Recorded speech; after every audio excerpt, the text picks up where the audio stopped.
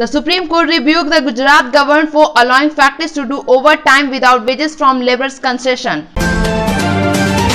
PM Narendra Modi will inaugurate the strategically important all-weather Atal tunnel at Himachal's Rohtang on Saturday. The Congress Screening Committee for Bihar held its first meeting on Thursday and decided to field seven sitting MLAs in Bihar polls. Bihar elections BJP leaders including Amit Shah, JP Nadda held a meeting with LJP chief Chirag Paswan on Thursday to thrash out a seat sharing arrangement.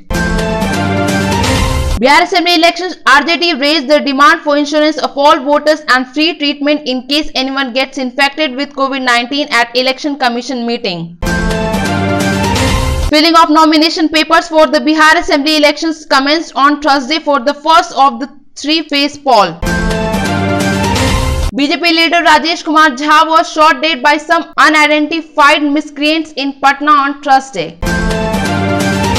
Bihar Assembly Election 2020 model poll code in place police seized rupees 74 lakh from car.